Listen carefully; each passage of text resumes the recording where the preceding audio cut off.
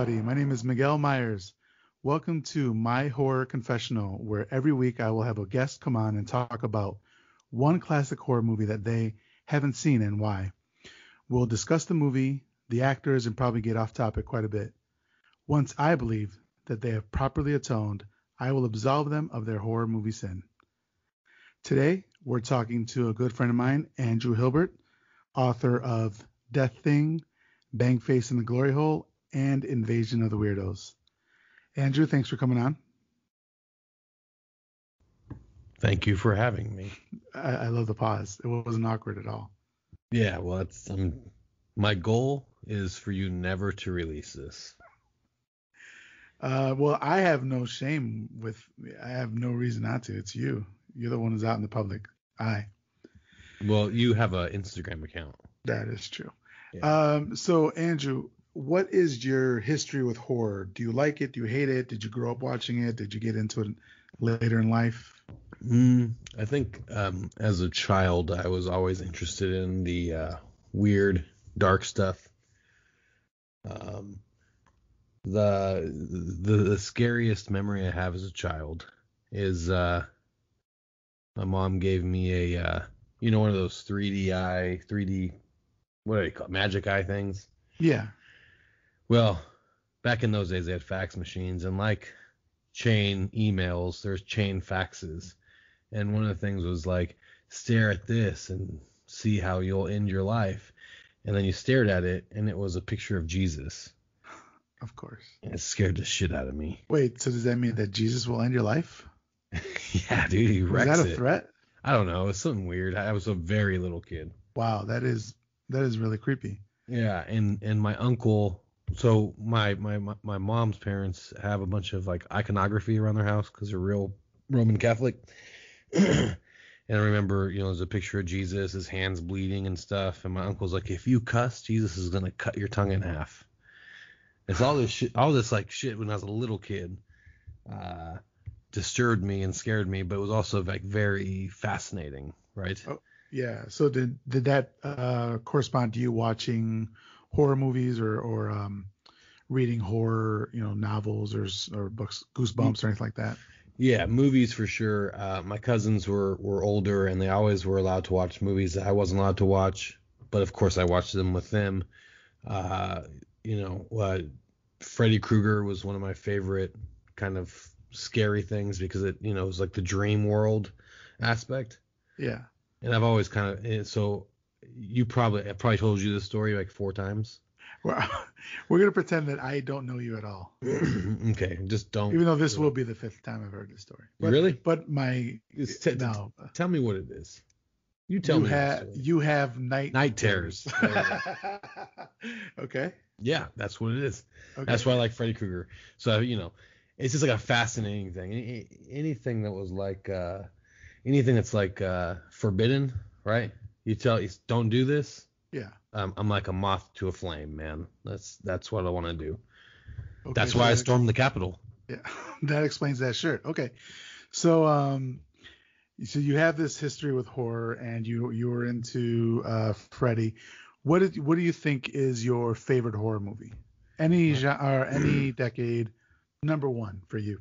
Number one, like on a on a just like a on a fan level, I think uh, Texas Chainsaw Massacre is my favorite horror movie Okay. because there's like not it's like pure like terror and chaos um and it's almost like slapstick humor right in texas chainsaw massacre I, okay, I've heard that. I've heard even Tobe Hooper say that it's supposed to be like a comedy, like a, a dark comedy. I don't see that. oh man i Where I, is the humor in it that you that you're seeing? I, It- I, it- it's really weird. When people it's like a cartoon Ah! Ah!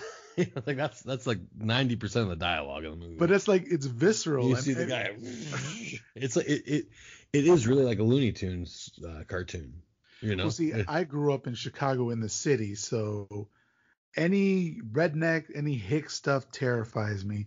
So growing up watching uh, Texas Chainsaw Massacre, it there was no room for humor. This was what was happening in Texas, and and then I went ahead and moved to Texas Yeah. like an idiot. Well, I just, I mean, I think it is. So the thing about horror that really I really like is how well it weaves itself with humor. You know, there's something. You know, I'm sure when you're in Chicago, Robin Banks and Watching the Bulls win yeah, rings. Up yeah, you know, beating Utah Jazz fans up. um, I'm sure after you escaped the police eh, or, or escaped certain death, uh, you and the boys cracked up a cold one and laughed about it. Ha ha ha! I can't believe we escaped it. You know what I mean? It's one of those things that horror, like death, is like the ultimate absurdity, and that's what it's like. Very. There's humor in these things. I have to rewatch it with that eye, with with that in my mind because Yeah. I, I don't see it, but I, I have heard people people say that as well. When was the last time you saw it? Oh, it's probably been five six years. It's been a while. It's not my. It's a great movie. I love it. It's just not one of my go-to. I I actually don't repeat watch a lot of movies, horror movies or any movies in general.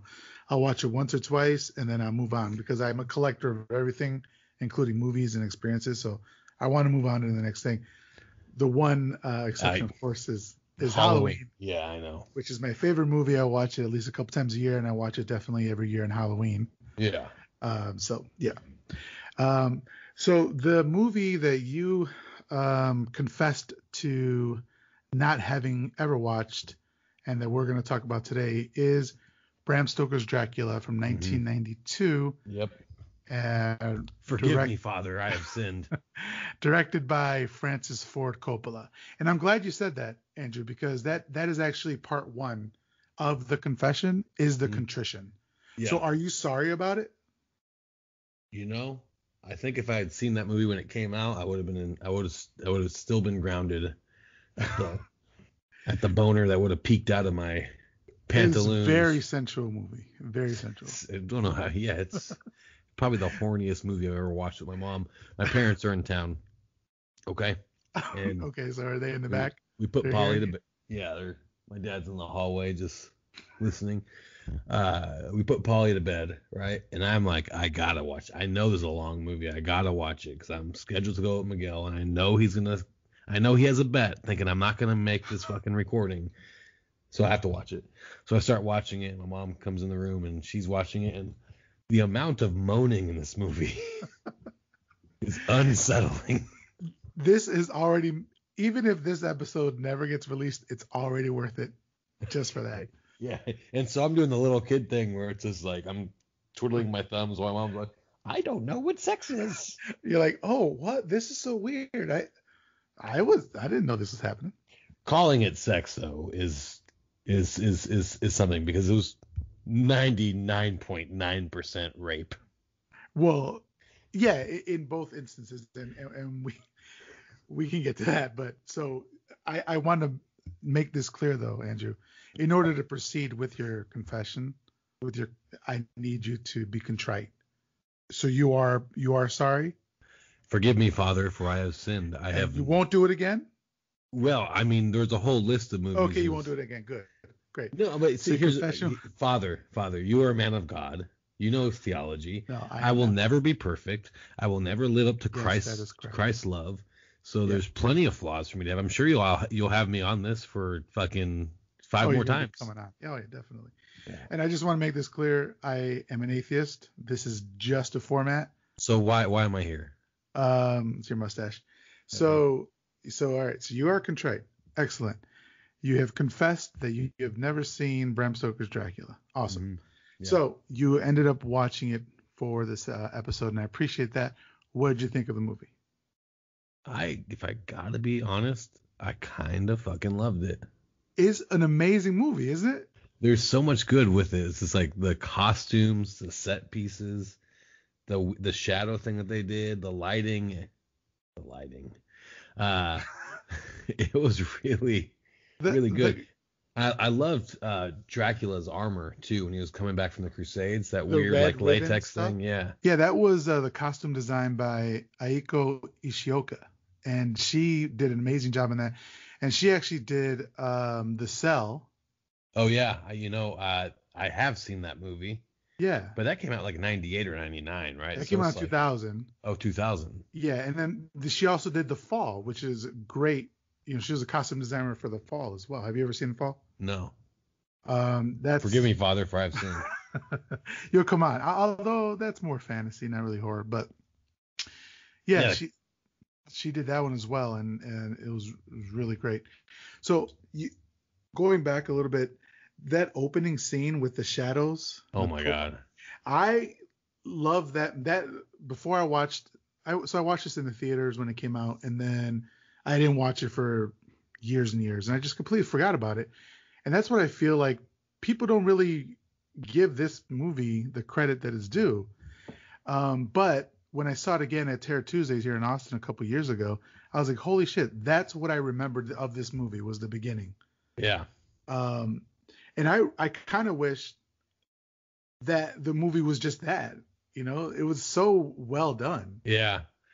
I mean, I, I- I think the weird thing about this movie, it felt like eight different movies kind of smashed into one. Like the visual style changed so Yeah. dramatically from the first 15 minutes to the rest of the movie, but also like the feverish nature of a lot of it. It was just like, wow, you know, I I mean, it was, it was obviously like an artistic movie, but it was built for like a, you know, a 90s Hollywood blockbuster system.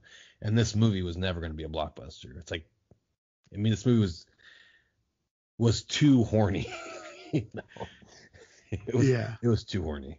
What Um, um what I liked about this movie was that they did 99% of the effects practically like within camera you know they would reverse film and and record over it again there was no cgi uh and th- that was kind of groundbreaking well not groundbreaking but very different at the time because everybody was going towards cgi and, Yeah. and and special effects sort of that way they were doing all their stuff the way that it was done at the turn of the century 1900s um, and that's around the time that the the book came out you know dracula bram stoker's Yeah. dracula came out so it, it felt even they used a, a camera of the time of the 1900s uh, in one scene when dracula gets to london yeah. do you remember that it looked very weird it looked like really stilty and slow it looked like Yeah. a, that was actually they used uh, an old camera from that time to record that i just thought that was kind of cool I mean, I, I, I love. I mean, I love that. I feel like, uh, you know, it's weird watching. It's obvious that an artist is doing a lot of things. You know, he has the money to do everything he wants to do. You know what I mean? And that's what I kind of appreciate about this movie. Was like, uh, I, I didn't know I didn't know that. You know, I, I thought maybe there's some kind of After Effects, some editing trick to make to create that but knowing that they used an actual camera of the time from when the book was well maybe when Nosferatu or whatever came out uh that is really interesting to me I mean I, I, I like artistic reaches you know what I mean? It's like when when an artist reaches and fails or comes up just a little bit short that's like my that's usually my favorite work of theirs. Yeah. So and, and this feels like a reach you know? Now we can look back and say oh this movie's really good but I feel like at the time it to everybody it felt like a reach and a fail. Yeah. Um Um, so it, just to back up a little bit, I'm sure everybody knows, um, you know, the story of Dracula, and this was one of the most accurate portrayals of the novel that that's been, you know, Yeah. turned into a movie. Because a lot of times you'll get like, you know, the, when they first started making like Nosferatu, they couldn't get the the rights from Bram Stoker's uh, family or his estate, you know. But now Dracula is, you know, what is it? Public public property, a public public IP? domain Yeah, Yeah. public domain. So uh, anybody can make whatever. But um, I, I really liked uh, that they were pretty. They stuck pretty close to the um, to the book, and so let, let me hear your rundown. in my rundown I think somewhere in the 1400s right must have been during the crusades or something you know Dracula was a warrior for God going out killing heretics and he goes out he's killing heretics and uh when he comes back I don't know what his wife's name is back in back in the 1400s, but Winona Ryder's character Elisabeta. Elisabeta Elisabeta. finds Elisabeta wet and bleeding and dead with a suicide note because she believed him to be dead. He was never coming back. So she jumped out of his she jumped out of a, a window into the river. And uh and so he gets so fucking pissed at God. I fucking killed all these goddamn you know offensive terms uh for you, God. And you let my woman kill herself. So he takes his fucking sword. This was one of the coolest scenes in the whole fucking movie too. Takes a sword and like right through that like iron cross and it's bleeding and like a maniac. This is what was so cool about it. You were watching Gary Oldman go fucking nuts, and the thing is, that is what it looks like when someone goes nuts, like a break from reality, a fucking psychosis. and he's like drinking the blood, and he's like killing all these priests. It was a me- that was like wow, that was worth worth the cost of admission right there. You know? Yeah, that. Uh, th- I think this is where Gary Oldman starts making like his real his name in in, in movies because Yeah. this performance was was great, and it was helped by by the score. Yeah. Right, the score was I, I'm gonna try to say this guy's name, but uh, Wojciech Kilar. He's Polish uh, film music composer. I'm sorry if I butchered that. Yeah. Um, but I actually fell in love with the score watching the movie, and then I went on Spotify, looked it up, and was just listening to it Nice. Because it's great. It's a, just a, a great score. There is one song on there that's kind of annoying. It's What it's is it? the end. It's the ending And credits one why they put it in there? just for random stuff. Yeah. No, they had um Annie Lennox or is that is that somebody? Yeah. Yeah, that's somebody. um she she had the the song over the credits, Love Song for a Vampire. Oh yeah, I, I like- I, I, I, I'm. Is this like ba- bad to admit? But I only watch the credits when I get a special thanks. Yeah. uh or or if there's like a Marvel cutscene at the end or in the middle. Nah. I, I mean, I was like, ah, I'll see that on the internet. Yeah. But yeah, that score is, is amazing. Uh, it, I put it up there with, you know, I don't know what else he's done, but it's it's it's like a Carpenter score. You know, Yeah. I, obviously not synth, but Right, it's right. It quality. atmospheric.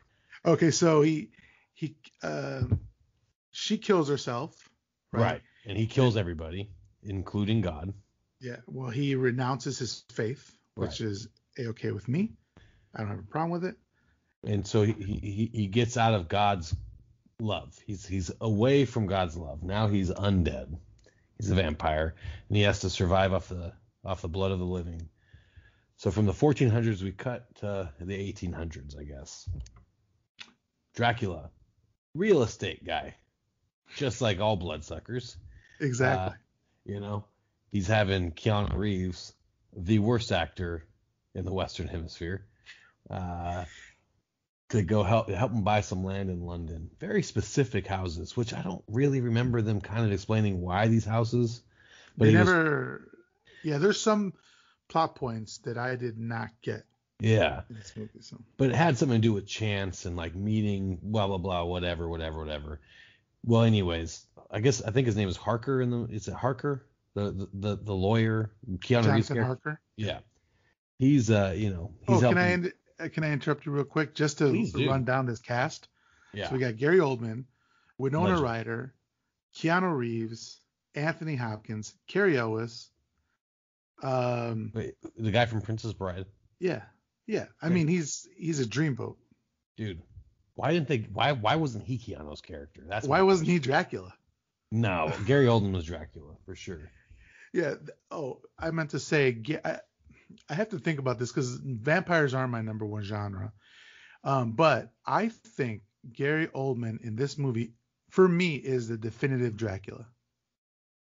Well, I think he's probably the most he's I I I feel I, like and I know people are like Bela Lugosi, or I, I get it, but for me, Bela Lugosi, of course. That's like the that the universal Dracula costume is Bela Lugosi, hands down.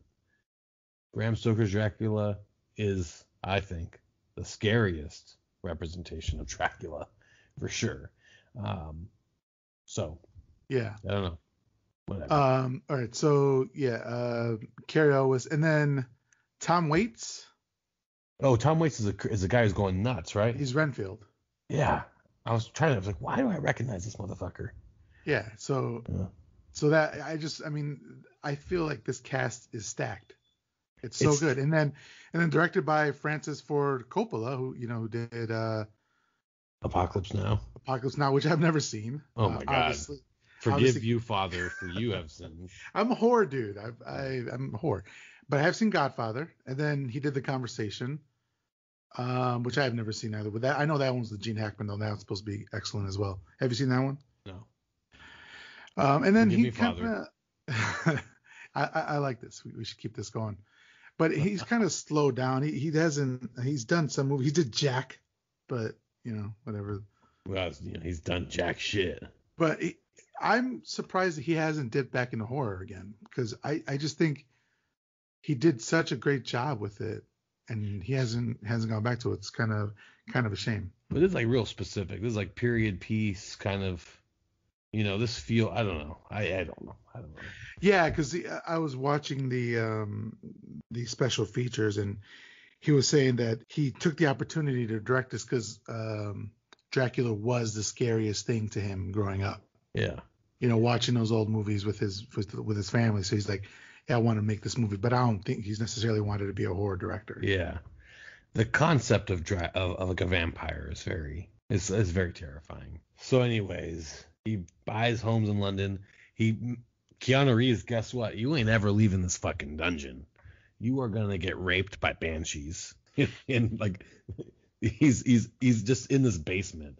But he's still able he's not like chained up or anything. He's still able to sneak around. He sees where Dracula sleeps. He sees that Dracula's being put into a fucking box and getting onto a ship. So whatever. He has some freedom of movement, but he cannot leave the dungeon.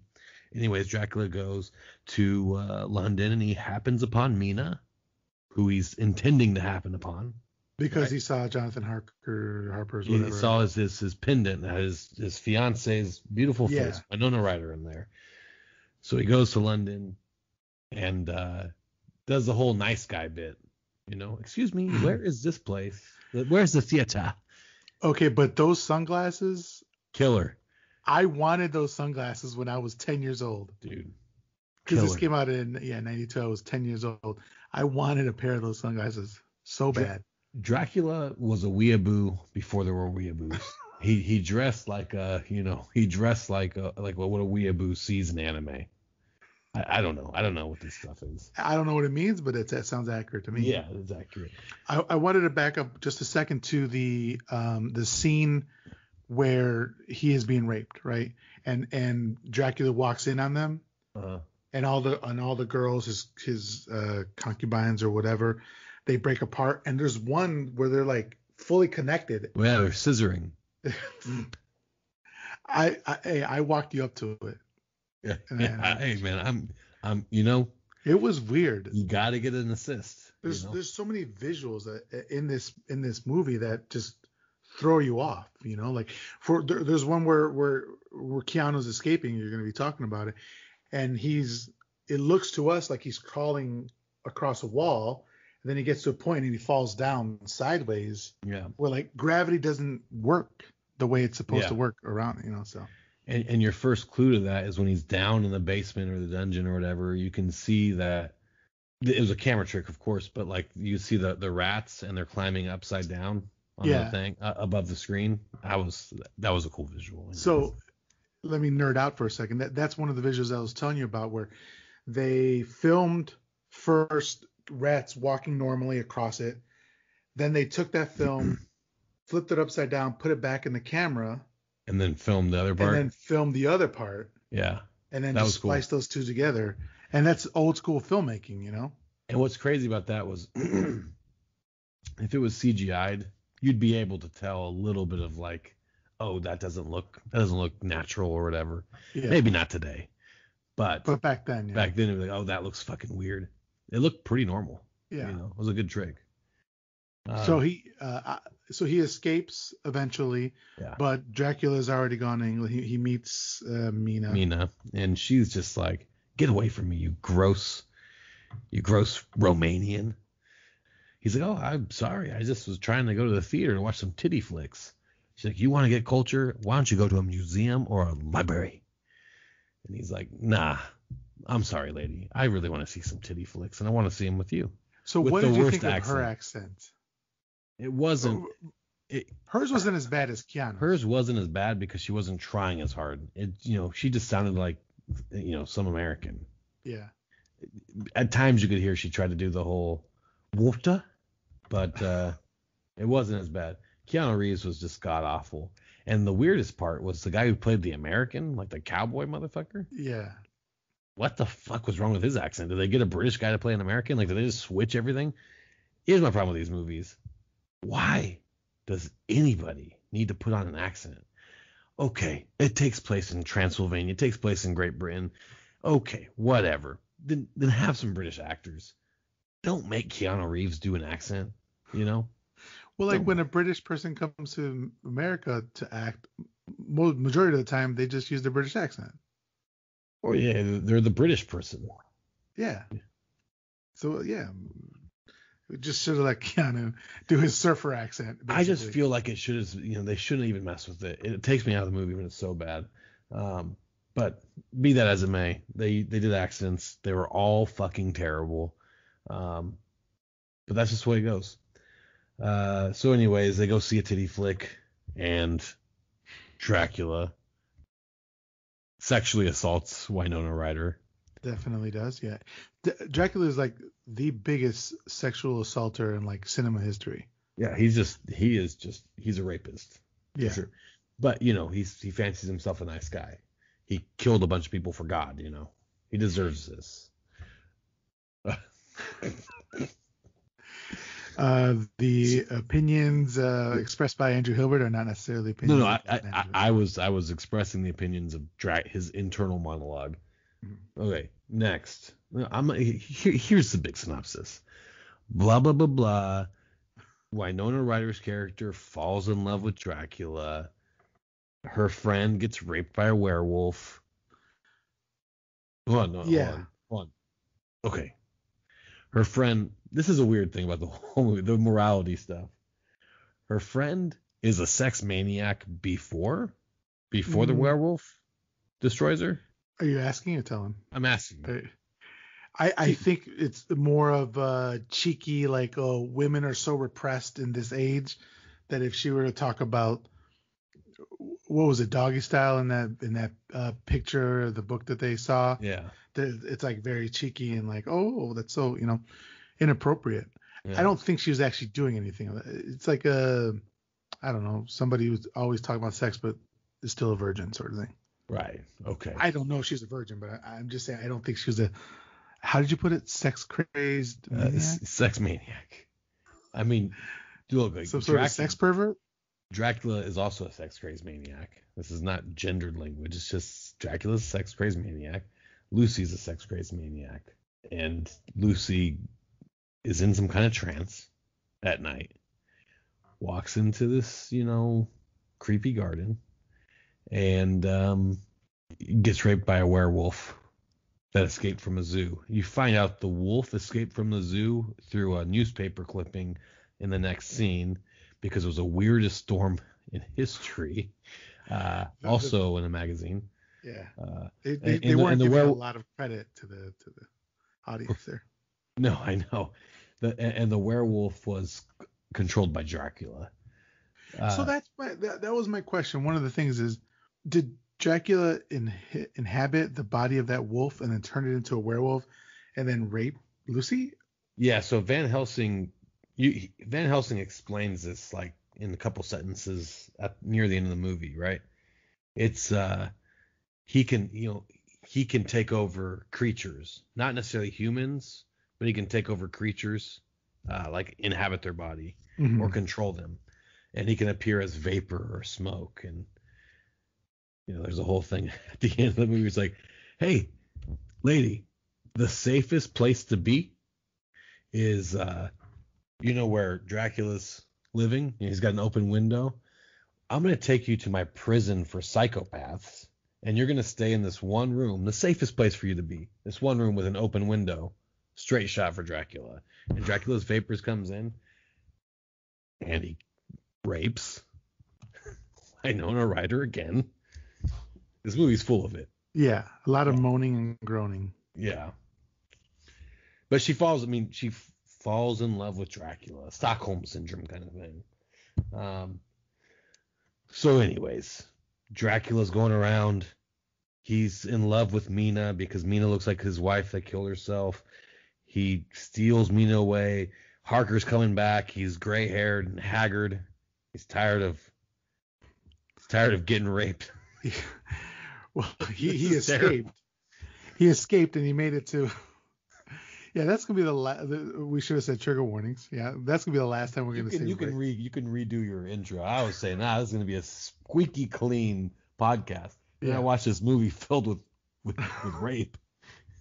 Um, so he he uh, Keanu Reeves character escapes and he goes to a convent and they take care of him, and then he writes a letter to Mina uh, for her to come uh, and they get married Yeah, in, in Romania. in Romania.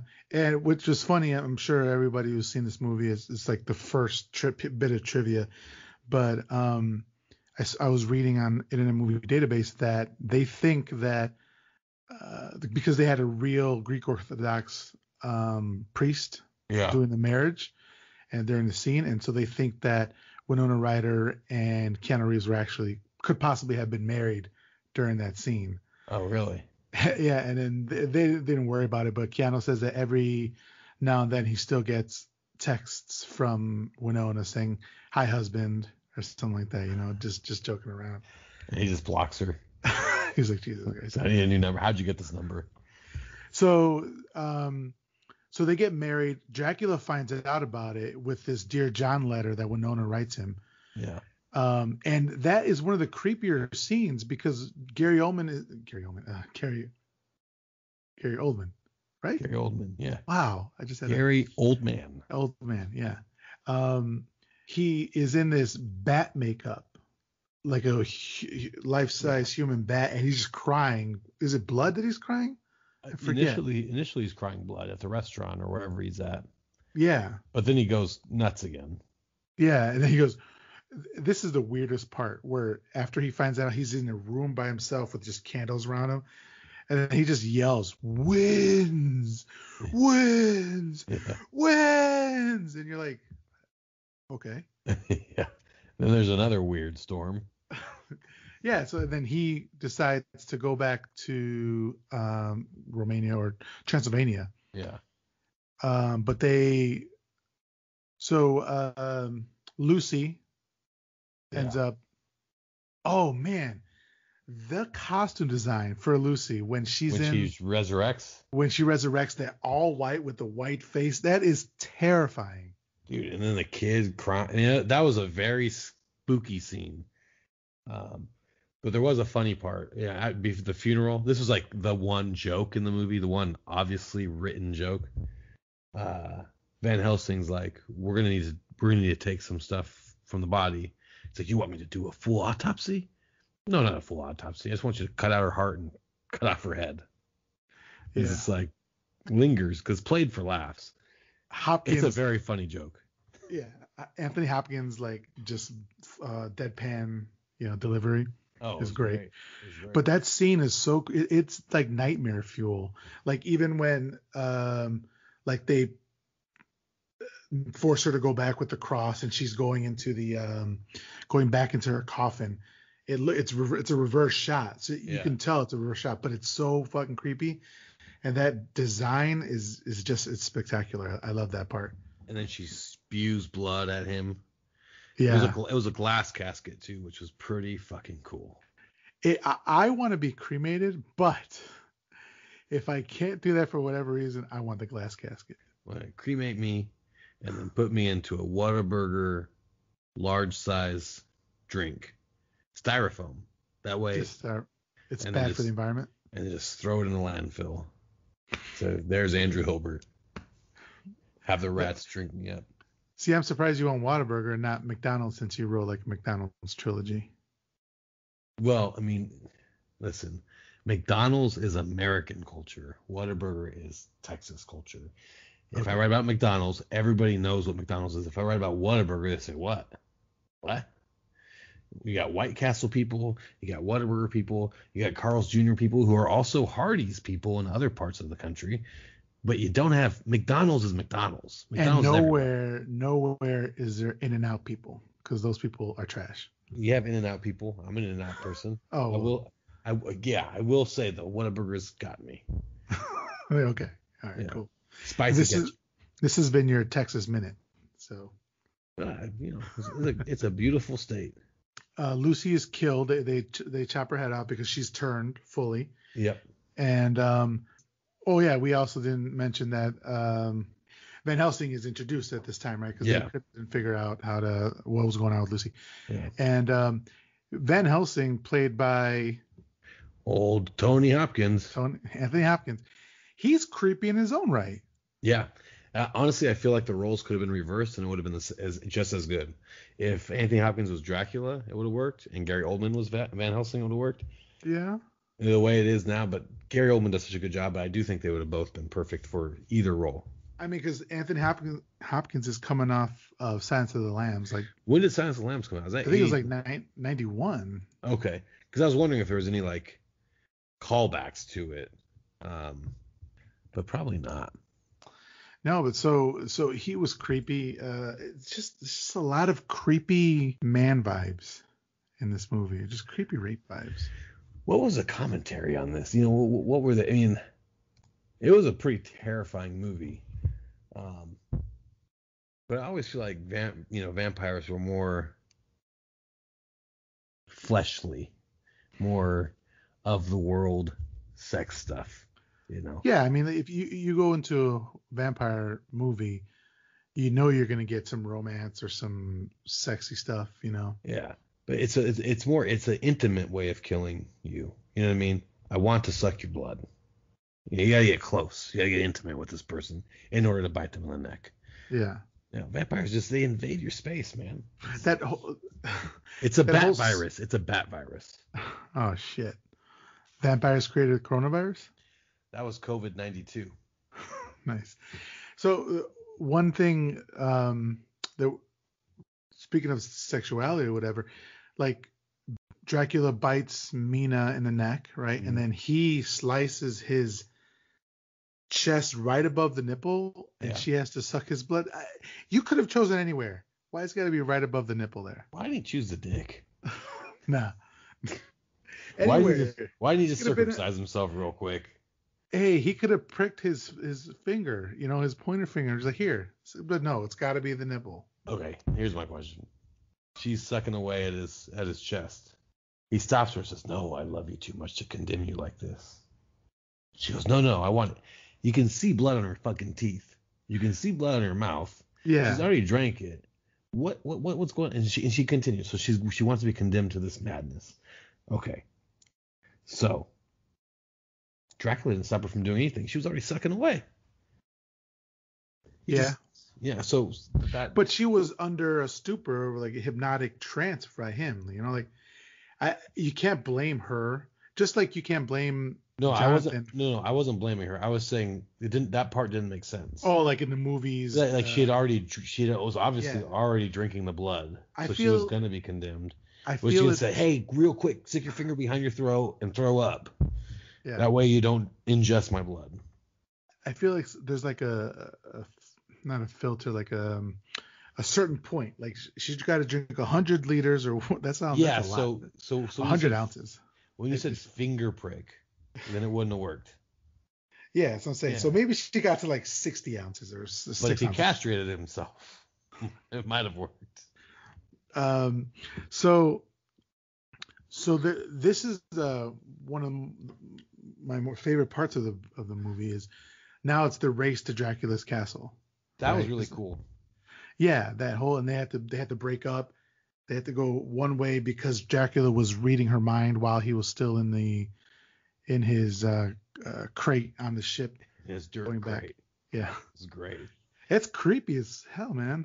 The whole thing was great. I mean, Yeah. that whole, and then once it really picks up, when they start chasing, when they see the the carriage, it becomes a different movie again. It's like a fever dream where it's like the, the camera, like kind of like the colors change a little bit, Yeah. and it kind of like goes in and out of focus, but it's just like, it's perfect. I want to know like what movies, because you know a lot of like directors pay homage to like older movies, you know, and I feel like like a, a train robbery movie from the old west would have been something they paid homage to in that in that scene, but it was like a, it, felt unique, you know. It's I don't know that I've ever seen something like that.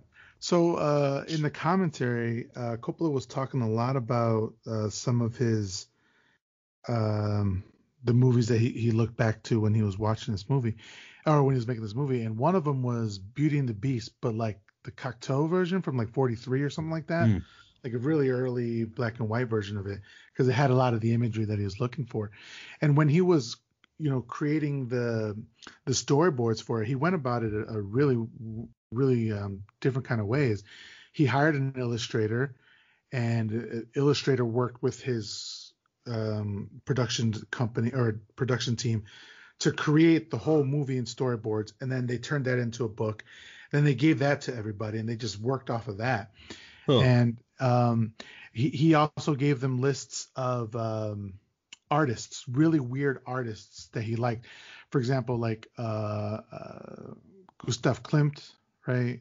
Uh, or who did the Kiss? Uh, yeah, Klimt, who did the Kiss, right? You familiar with that drawing or with that painting? Here, let me look it up real quick. Yeah, I'm- it's it's while you're looking it up, I'll just describe it. It's a very famous painting, um, and in it, oh yeah, Yeah. that painting. Agree with it, right? Yeah. Does that does that man's what that man is wearing look familiar to you at all? Oh, it's one of Dracula's costumes. That's his last costume. With Yeah. his last set, uh, his last costume when he That's dies. You know. That is cool. Yeah.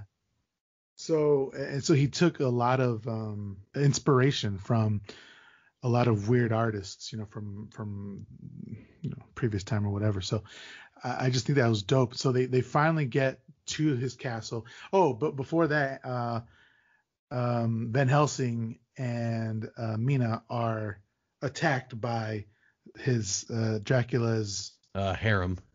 daughters of Dracula, I think is what they're Yeah. called. You that scene is terrifying in in and of itself. It's very scary. And then he fucking chops off all their heads. He's like, "Oh, you want to fuck with me?" After after he protected them with the ring of fire or whatever, he Yeah. goes back and just kills them. He's like, "Fuck, fuck me now," you know. That was so cool. That was cool. And it was surprisingly graphic, you know? Like I didn't realize this, but beheadings and stuff is like pretty disgusting. Pretty pretty scary stuff. Yeah. So when he just like boom and they just come off like I don't know, like I guess a head from a body. yeah. Um it So was, it was that I, I had a visceral reaction to it.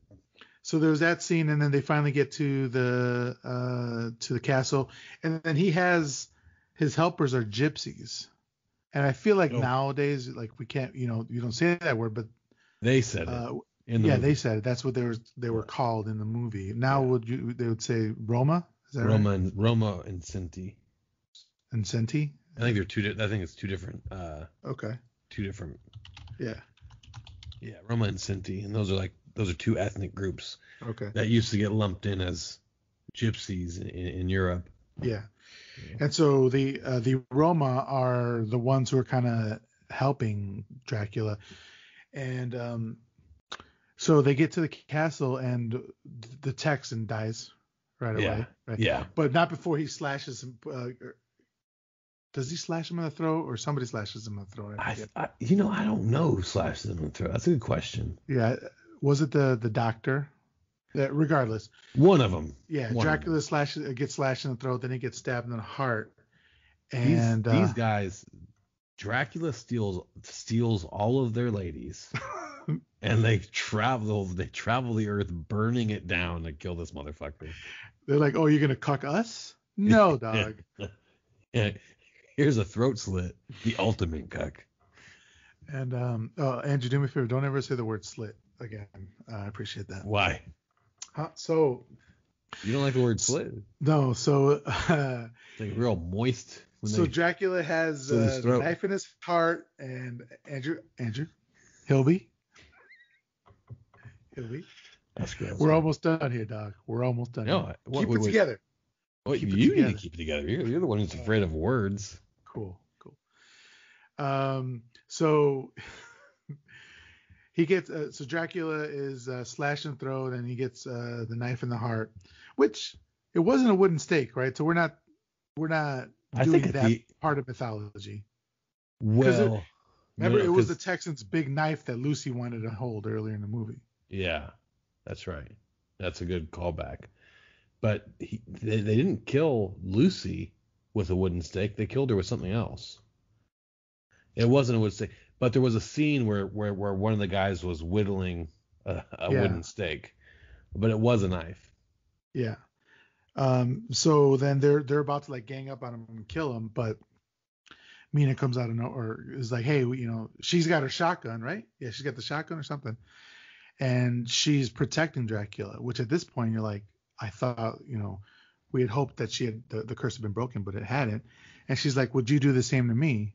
Which, yeah, Well, I, I would. dude, she was playing with his heart, man. She's like, hey, I'm in love with Dracula now. Okay. Yeah. I'm gonna go back inside his home.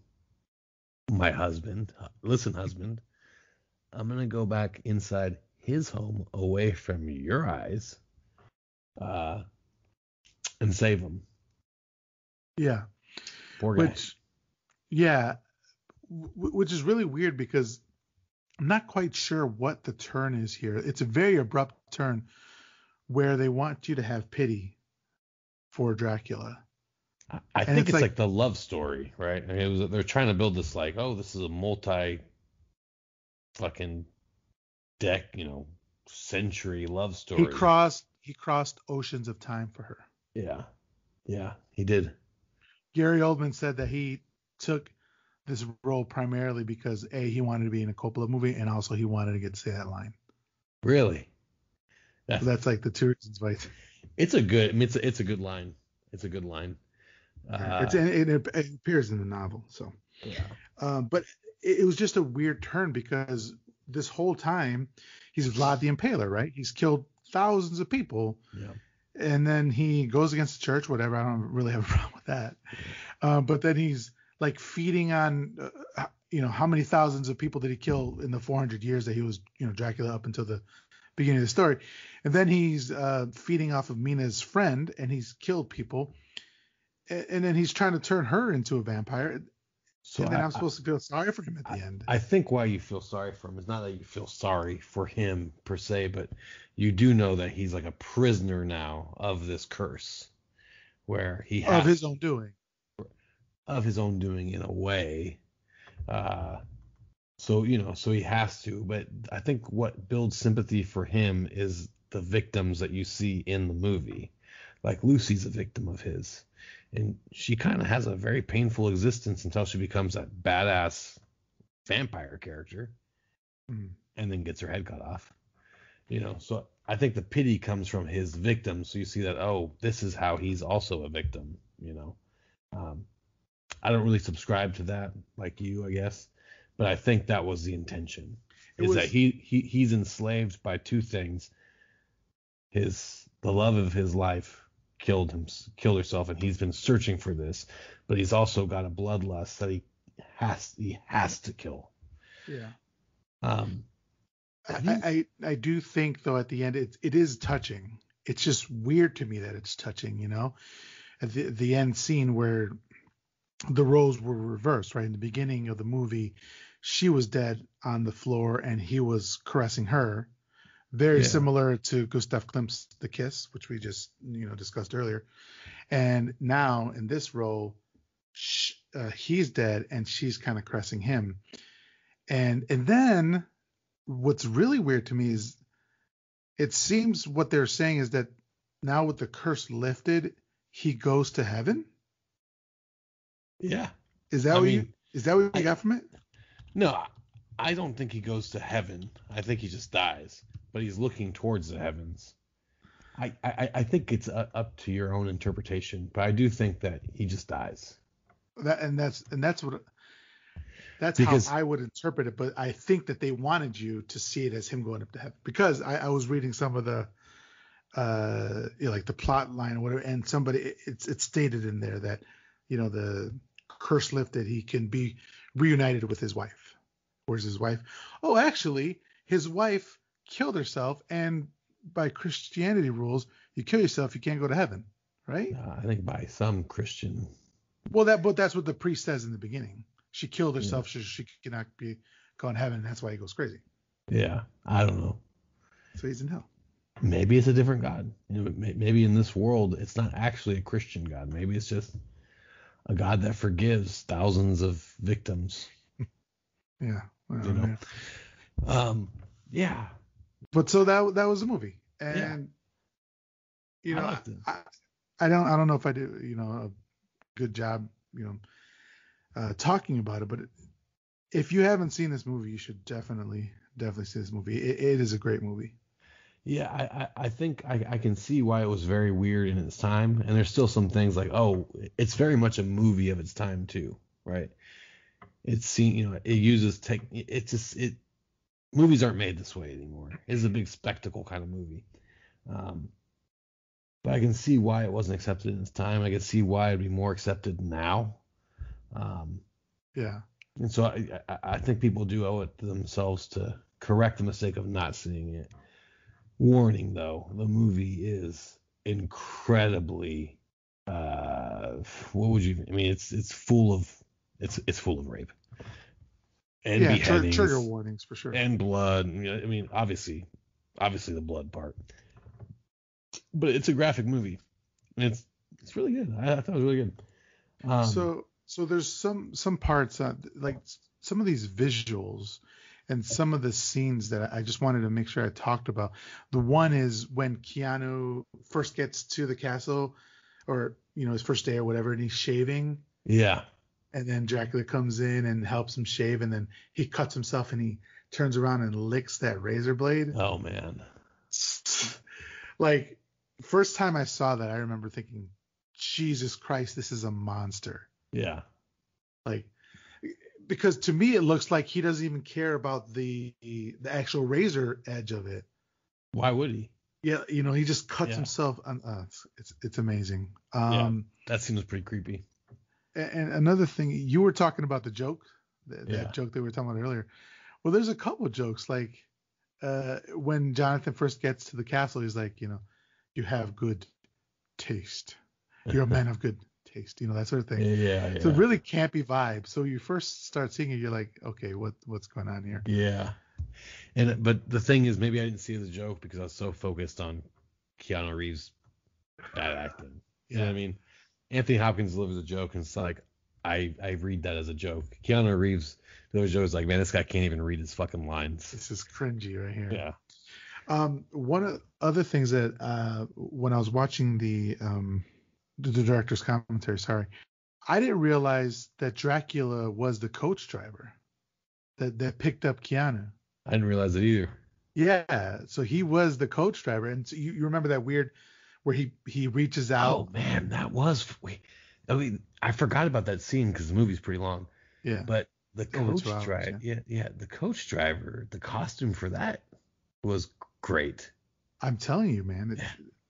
And it was creepy. It was he had like a bird. It was like a crow's foot. It was just wild. And so that that effect was was awesome too because it was done in one take or Yeah. not one. You know, I'm sure they did multiple takes, but you know they didn't. There was no cuts, so like Yeah. they had the the person who was playing the coach driver like on a, a dolly or something like that, and then when he was reaching out, he just they just moved it with him Yeah. and then moved it back. And so like stuff like that nowadays would just be CGI or some other thing, and they did it in camera you know, that way. And uh, actually, the the guy who was doing a lot of that was Coppola's son, Hmm. Roman Coppola. So he hired he had a bunch of people um, in the beginning who kept telling him, no, you can't do this. You have to do CGI or you have to do some other way besides in in um, in camera optics. And he's like, no, this is what I want. They kept telling him no, so he fired them and, and hired his son. So that, Nepotism at its best. but it came out It was- pretty good, man. It was a good decision. yeah, it was a great decision. Yeah. So, uh, were there? What do you think was uh, your favorite scene of the movie? Well, I mean, the first 15 minutes are pretty incredible. Um, I feel like it's a little bit of a cop out to say the first 15 minutes, but um, I don't know, man. I, I- think the chase at the end with the carriage ride, that was like such a fever dream kind of feeling. It was so chaotic. Yeah. Um, that was like It's- it because it's like Dracula knows Mina's around, right? And so things just you know the stakes get up a little bit, right? Anthony Hopkins is by himself with with Mina, and so you keep cutting from these scenes where it's like the cowboy and the doctor and them are chasing the carriage, and at the same time, Anthony Hopkins is kind of in danger. I mean, Van Helsing is kind of in danger. Mina's in danger. Everyone chasing Dracula's in danger. Dracula, it's just like everybody in everybody in that moment is in danger. So you're kind of feeling this intense kind of stress uh, with all of them. And the, a lot of the camera stuff, to me, I was just really, I was kind of enthralled by it because it, chase scenes are usually pretty boring in movies, and this is a fucking horse-drawn carriage chase. Very likely to be boring. Not boring at all.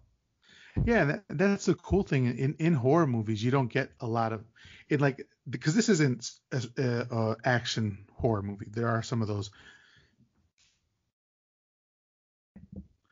Um, so there aren't a lot of action horror movies, but or this particular movie is in an action horror movie, but you get an action scene at the end, Yeah. which you're like blood is pumping. You're like, holy shit, what's gonna happen? It's it's so good. But So the you're weird- saying But but the weird Right. thing too is that you I mean I, I guess in the early 2000s they tried to do Van Helsing as an action horror kind of character. You can see how Dracula could become many different genres of movie.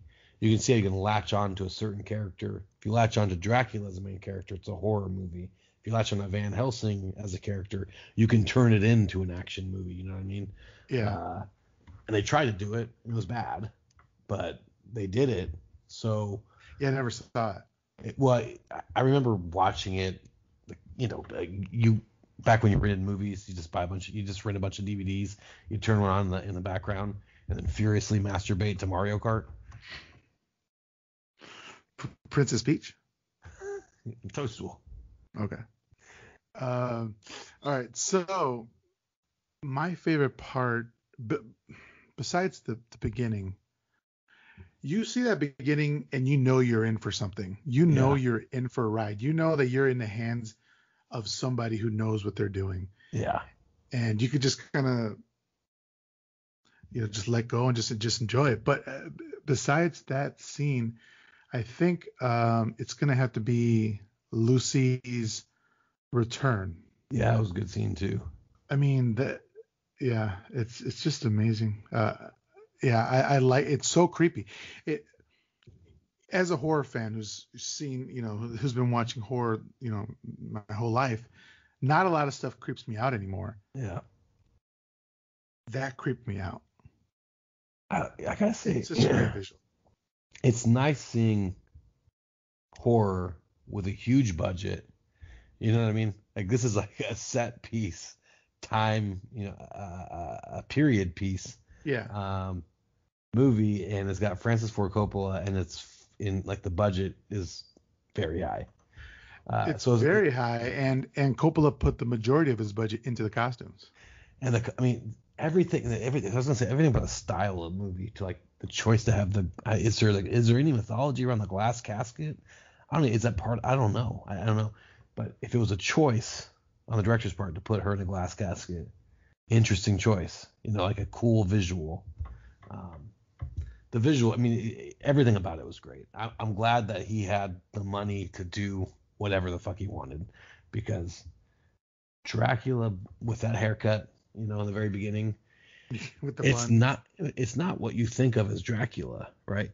But it is iconic as Dracula now.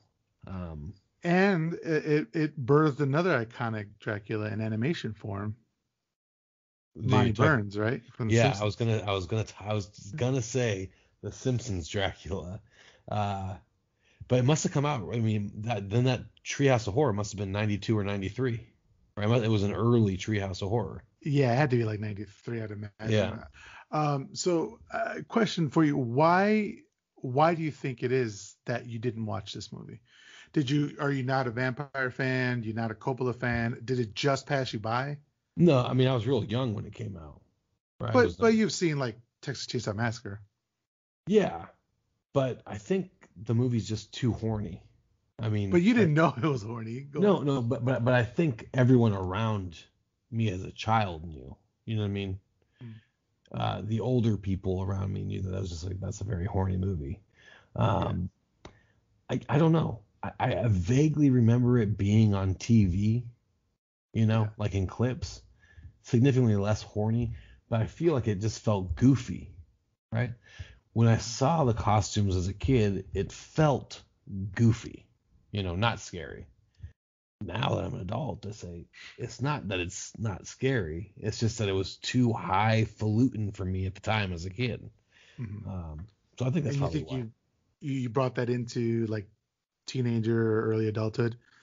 Yeah, I mean, you just forget about it. There's no, yeah, you know. Yeah, that's what I was saying. Yeah, because this movie just not a lot of people talk about it. You know.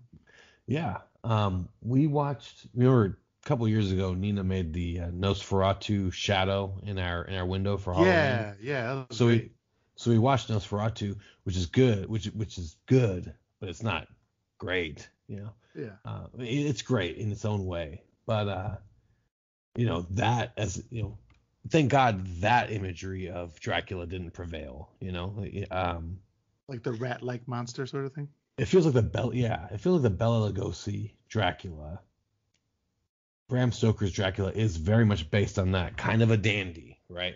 Kind of very into style. Bela Lugosi, mm. he's got he's down to like the, the fucking chain and vest, sharp dresser, right? Yeah. Bram Stoker's Dracula, he's a sharp dresser because he's a fucking weirdo. He's lived for hundreds of years. You know what I mean? You know, he's yeah. tired. He's tired of this shit. Um, so I'm glad that I'm glad that the Nosferatu vision of Dracula didn't prevail. That this seems to be more of a Bela Lugosi Dracula, only in the sense that the dapper dresser, a unique dresser. Yeah. Kate. All right. So, uh, all right. So, what do you rate the movie? Let's say out of five upside down crosses. Okay. I hate rating systems. Okay. I know some yeah. people love rating stuff like oh, it was like a 4.8 on my scale. I don't know what that means. Andrew, you're on my I, show. I loved the movie. I loved it. Is it my favorite movie ever? No. Okay, so let me ask you about your scale here. I go more in scale like one, I hated it. Three, meh. Five, loved it. Everything in between is just like me trying to be too goofy. Five upside down crosses because I loved it. That, that that's I just want everyone to know it's like it's not a scientific system. Yeah, of course not. Like for me, if I enjoy the movie, I don't care how how badly people think it is. I'm gonna give it five stars. If if, if I loved it, you know, if yeah. I absolutely love it, if I would sit down and rewatch it one, a couple times a year, I'm gonna give it a five stars. Yeah. You know, I don't care. So, uh, a good um, example of that is Samurai Cop. Have you ever seen Samurai Cop? I know no. it's not a horror movie, but no. okay whatever. You just uh, watched it, right? Yeah, I just watched it. There was a secret screening of it, and I won't say where because I don't want to get anybody in trouble. And I went with somebody who had never seen it before, and they gave it a one star, but they were laughing the whole entire time. So a one star eh, movie to me doesn't seem like you enjoyed it at all. A one star a one star movie is something you don't even think about. It's it's you know what I mean? It's like one star movie is I'm bored, I want to get out of here, and I never want to talk about this movie. I had nothing coming out of this movie. You got to give it at least a star if it made you laugh at how bad it was. Yeah, if you're laughing the whole time anyway. Right. So with with that in mind, you say you say five. Is that what you said? Yeah, but you have to realize I'm more of a Siskel and Ebert kind of rater where it's I liked it, I didn't like it. Thumbs up, thumbs down. It was a thumbs up. So you like the Netflix scale? the the Netflix rating system? Thumbs up, thumbs down. I don't rate. I, I don't rate anything on any app except what for about Letterboxd. Yeah, okay. right, right. But Okay. but Letterboxd isn't trying to sell me more movies, right? Netflix wants me to watch some bullshit. I don't I don't rate anything. You, you know Netflix doesn't sell you movies, right? Well, they they, they sell me my attention. They're trying to buy attention from me. Okay. Um, I am going to. You know what? I'm gonna agree with you. Five out of five upside down crosses. It was good, man. It was good. That and that that doesn't match my Letterboxd because my Letterboxd is like three and a half. Yeah, but if you, but if you look at my le- if you look at my Letterboxd, it makes no sense. It makes no sense to me. It's like I don't know. I don't want to overthink it. You know what I mean? I, I'm Yeah, not one of also those. depends on how you're feeling the day you you watch the movie. Right. Like I have seen movies like a couple times, and it, I'll give it a three and a half, and then a year later I'll watch it again and I'll give it a four, or I'll give it less. You know, Yeah. it just depends. But I, I'm gonna say uh, five out of five upside down crosses. So vampire movies. Let me ask you this: What Mhm. other vampire movies have you seen?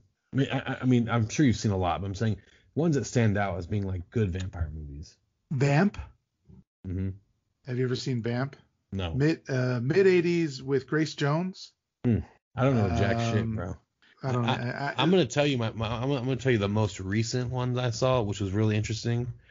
Um, I think it was like 2016 or 2015 I saw it.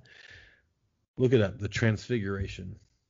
Transfiguration. I have I've heard of it. I have not seen it. No.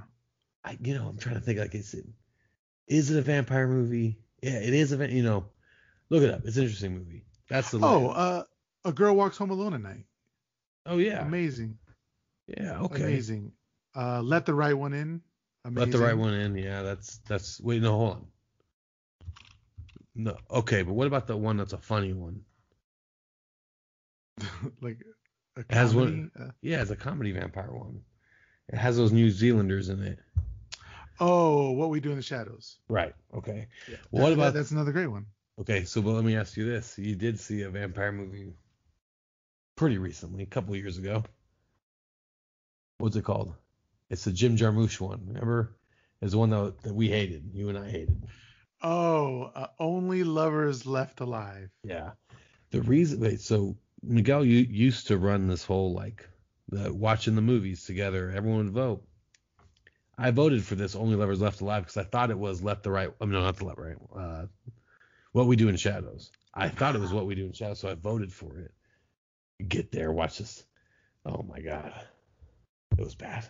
This I have never walked out of a movie. I was about to walk out of my own home with this movie. I, I'm not against Jim Jarmusch. I like Jim Jarmusch movies, but I just thought this was a little, a little lame. It, it Um, was so cringy. It was so smug. It takes place in uh, Detroit. About, it takes place in Detroit. Not a black person in sight. Uh, They're really into music, right? But they they only mention like the white stripes. They only mention the white stripes the white. stripes. in in the Motor City. Yeah, it's um, that movie was insufferable. Is, was- is the only was- word I could say. It was a little nutty. And we actually cut it off about halfway through because the whole crowd was like, "Nah." It might have been 75% of the way. I don't like getting I don't like ending movies. I don't like ending things too early. I, I've done it before, but I don't like Yeah. to. Yeah, I think I- the only movie I walked out of in my life was Ladder 49. Oh wow, that is the 9/11 tribute movie or something. So I used to sneak into movies all the time when I was a kid. And so we'd basically sneak into what I mean, we got better at it to where we'd know what theater we we're sneaking into to see what movie we wanted to see. But we used to sneak into movies and then we ended up sneaking into Ladder 49. And about 20 minutes into this movie, me and my friend was like, let's get the, f- let's leave this movie we didn't even pay for. And the funny thing is, as we left, we're booing it. It's like a fu- funeral scene. You could tell everybody in that fucking theater was either a fucking firefighter or a cop. So we ruined their night. Oh man, It was great. It's terrible. Uh, Awful movie.